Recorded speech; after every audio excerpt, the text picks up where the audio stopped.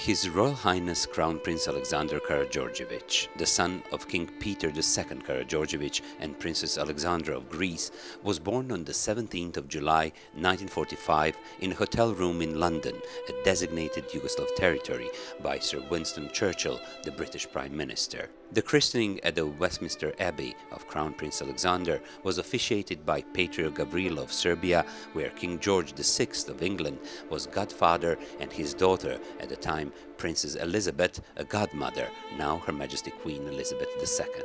He studied at prestigious universities in Switzerland, United States and United Kingdom, and afterwards he joined the Royal Military Academy as a British Army officer in the tradition of King Peter I of Serbia, who was at the French Military Academy. After leaving military services in 1972, he dedicated himself to his business career in Brazil, United States and the United Kingdom, before his final move with his family to Serbia Serbia in 2001 to the royal palace in Dedinje, the crown prince visited his homeland on many occasions. The Serbian people, both in the homeland and the diaspora, believe that Crown Prince Alexander and constitutional monarchy is the best path for Serbia. The Serbian crown believes that constitutional monarchy is a positive democratic form of government for Serbia. The crown is the constitutional guarantor and symbol of unity, stability and continuity. The crown respects the democratically elected government government, and in a constitutional monarchy, the elected government would rule Serbia along with the prime minister and its cabinet. Constitutional monarchy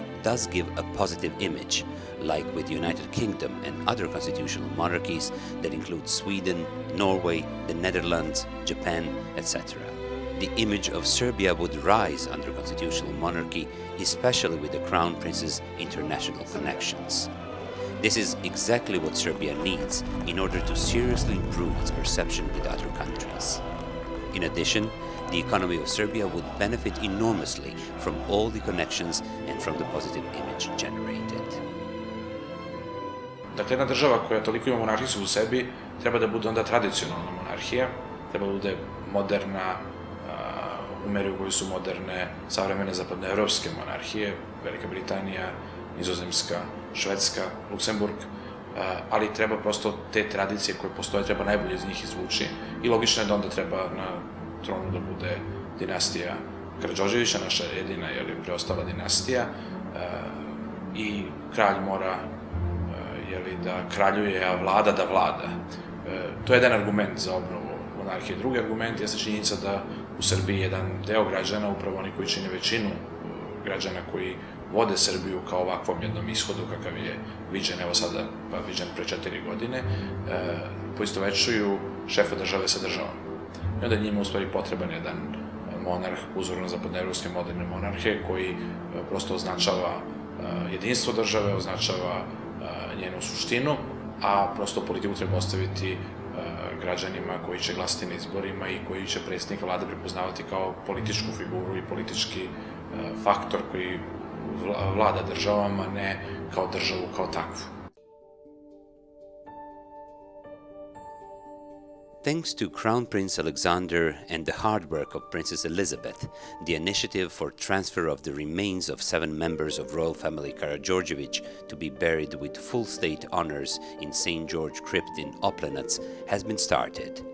The transfer refers to the remains of their majesties King Peter II of Yugoslavia, His Royal Highness's Crown Prince Alexander's father and the last king of Yugoslavia, Queen Maria of Yugoslavia, wife of King Alexander I of Yugoslavia and Crown Prince Alexander's grandmother, Queen Alexandra of Yugoslavia, spouse of King Peter II and Crown Prince Alexander's mother, their Royal Highnesses Prince Andrei, youngest brother of King Peter II of Yugoslavia, and His Royal Highness Crown Prince Alexander's uncle, Prince Paul of Yugoslavia, who was the regent of the Kingdom of Yugoslavia, Princess Olga, spouse of Prince Paul, and their son Prince Nicholas, brother of Princess Elizabeth. Zamisao prestolonaslednika Aleksandra da pripadnici eh, kraljevskog doma koji su po nesreći umrli u progonstvu da njihovi posmrtni ostaci budu vraćeni u zemlju je, po mojom mišljenju, e, jako dobra. E, ona nije samo lična odluka, dakle svaki potomak treba da se postara da njegovi najbliži počivaju tamo gde su želeli, tamo gde je zemlja njihovih predaka. E, mi imamo potrebu prosto da na neki način utemeljimo našu državnost ponovo. To je paradoks, obzirom činjenicu da smo mi narod sa velikom državnom, državnom tradicijom, na činjenicu da je Srbija prva obnovila svoju državnost u novom veku e, velikim ustancima protiv Osmanskog carstva, ali prosto razdoblje Jugoslovenstva, e, velike žrtve koje su uložene, velika borba koja je trajala protiv demokratije i protiv naših tradicija, prosto nalažu danas da ovo pokolenje se bori za ponovno utemeljenje našeg identiteta i deo toga je prosto i ispravljanje nepravde prema. Always having in mind the prosperity of Serbia, and thanks to his acquaintances, visits, and meetings with head of states, political leaders, and trips around the world, Crown Prince Alexander is always promoting Serbia. Other than bringing investors to Serbia, he also lobbied in important international bodies abroad so that Serbia can become a member of the European Union, stating that the Serbian people deserve a better future, living conditions, jobs, and to be fully part of the decision making as a full fledged member within the European Union. Their Royal Highnesses, Crown Prince Alexander and Princess Catherine, were guests of Her Majesty Queen Elizabeth II at the ceremony marking the Diamond Jubilee of the Queen's 60th year reign. Crown Prince Alexander on this occasion represented the people of Serbia among all heads of states of royal families from all around the world. Ne samo zbog naše istorije, već zbog činjenice da vladarska loza Karadžođića posebno u 20. veku je postala došla u bliske rodbinske veze sa većinom dinastija u Evropi, možda pomogne Srbiji da ponovo bude u svetu. His Royal Highness Crown Prince Alexander, His Excellency Mr. Vuk Jeremic, Minister of Foreign Affairs of the Republic of Serbia, His Excellency Mr. Ivica Dacic, Deputy Prime Minister and Minister of Internal Affairs of the Republic of Serbia, hosted a lunch at the White Palace for heads of delegations of the Ministerial Conference in Belgrade marking the 50th anniversary of the establishment of the non-aligned movement and the first non-aligned summit. The White Palace lunch was attended by over 100 heads of delegations, including foreign ministers of countries participating in the non-aligned summit. Their Royal Highnesses, Crown Prince Alexander II and Princess Catherine, attended the inauguration ceremony of His Excellency President of Serbia, Tomislav Nikolic, at the Presidency Building in Belgrade.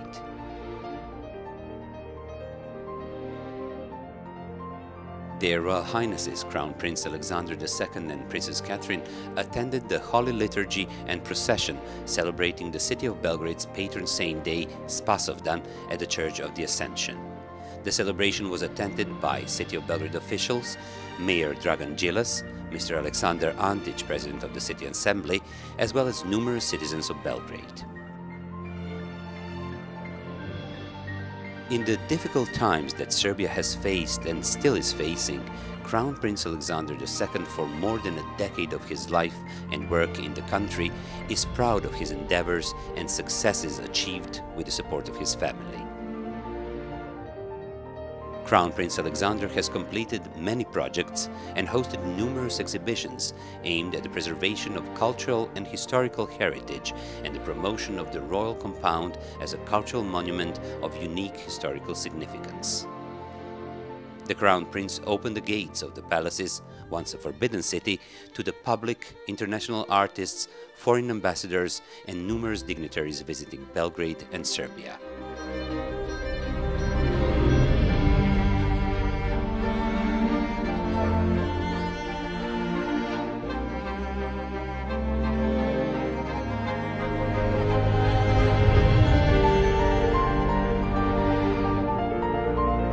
Philanthropy is what the Crown Prince Alexander, Princess Catherine, and their family are well known for. Through donations of medical equipment to hospitals across Serbia and the generous help to schools, students, orphans, and refugees, everyday life for many has become more secure. In the presence of their Royal Highnesses, the Lifeline Humanitarian Organization in Chicago organized an extraordinary evening of classical music titled Pearls of the World's Music at Chicago's Northwestern Law School, starring the famous opera diva Jadranka Jovanovic. Crown Prince Alexander II and Princess Catherine were the guests of honor at a special charity dinner organized by their good friends Mr. Fred Kabil and his wife in Chicago. The dinner raised funds for the Oncology Institute in Belgrade. Their Royal Highnesses and their daughter, Mrs. Alison Andrews, attended a charity gala dinner and concert that took place at the Intercontinental Hotel in Houston, Texas. The proceeds of this event were donated to continuing medical education of Serbian doctors abroad.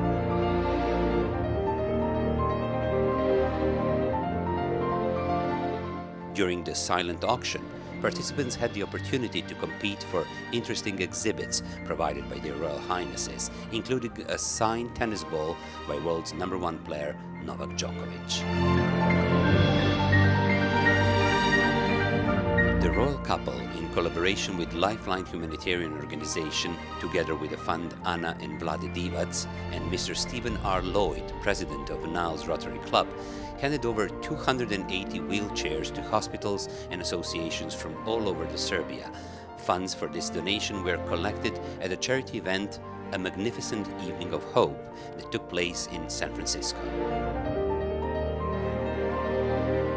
Their Royal Highnesses, Crown Prince Alexander II and Princess Catherine, hosted a traditional Easter reception for over 1,000 children from homes for children without parental care, Roma children, and children with disabilities.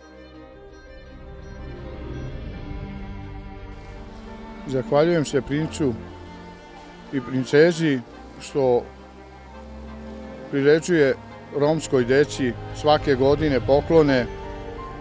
Deca su prvo vrlo radosna, to se vidi. Znači, nemaju nikakvih drugih poklona osim ovoga svake godine im priređuje i zahvaljujem se puno. Hvala. Along with His Royal Highness Crown Prince Alexander II, Princess Catherine, their children Prince Alexander and Mrs. Alison Andrews, the reception was attended by His Grace Vicar Bishop of Remesiana, Andrei, who also welcomed the children and explained to them the significance of Easter.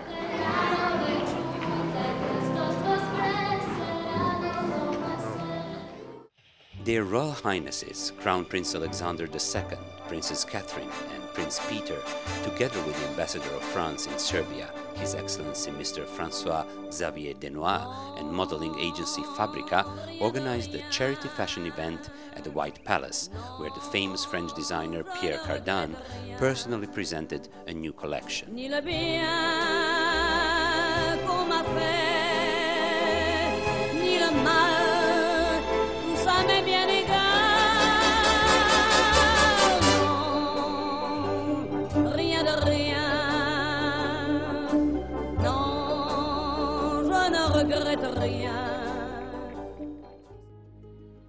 Their Royal Highnesses, Crown Prince Alexander and Princess Catherine, visited Yale University in the United States, where Prince Alexander gave a speech regarding his contribution to the democratic changes in Serbia in front of the very interested audience consisting of students and teachers with special interest or originating from the Slavic countries and Serbia. Their Royal Highnesses, Crown Prince Alexander and Princess Catherine, were hosts at the White Palace for traditional festive reception for the top 500 school seniors from all high schools in Serbia. Svake godine u junu mesecu ovde u vrtu Belog dvora odvija se jedna posebna manifestacija kada njegovo kraljevsko visočanstvo, prestolonaslednik Aleksandar II, dodeljuje priznanja i pohvalnice najboljim učenicima svih srednjih škola u Srbiji. To je posebno e, važan i ja bih rekao dirljiv događaj, jer se ovde susreću jedna institucija, jedna velika institucija srpskog naroda, Srpska kruna, sa onima koji bi trebalo i od kojih se očekuju da budu budućnost zemlje. Ova deca koja su ovde danas došla, prošla su strahovito veliki put. Oni su u svojim sredinama uspeli da budu priznati kao najbolji od najboljih.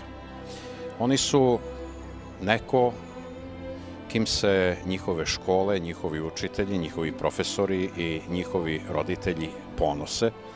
S punim razlogom, oni su neko s kim ima mnogo osnova da čitava ova zemlja i čitav ovaj narod budu ponosni, srećni i zadovoljni. Jako je dobro da jedna institucija u ovakvoj prilici oda priznanje nekome i nečemu što predstavlja budućnost zemlje. Pa diploma mi jako puno znači jer predstavlja krunu mog uspeha, a takođe i prijem jer a, dinastija Karadžorđević je omiljena u mojoj porodici.